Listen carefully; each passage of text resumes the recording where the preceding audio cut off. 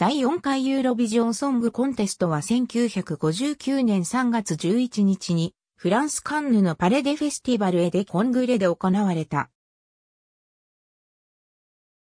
制作はフランス国営放送 RTF プレゼンターは同局アナウンサーのジャクリーン・ジュベールが担当。そして音楽監督にはフランク・プールセルが就任し、フランス、モナコ、西ドイツ、スウェーデン、スイス、オーストリアの6カ国の伴奏指揮者を務めた。11カ国14社ネットワーク。モナコが新規参入し、テレモンテカルロが放送開始。イギリスは復帰とともに、英国放送協会での放送を再開。一方で、ルクセンブルクは代表を送り込まなかったが、CLT テレルクセンブルクは放送を実施した。内数字は参加回数パレでフェスティバルエデコングレ各国の演目が開始される前に開催地であるカンヌを紹介するビデオを放送。カンヌの街並みや夜景、ラ・クロワゼット通り等の後、カメラは会場であるパレデフェスティバルエデコングレの内部に入っていき、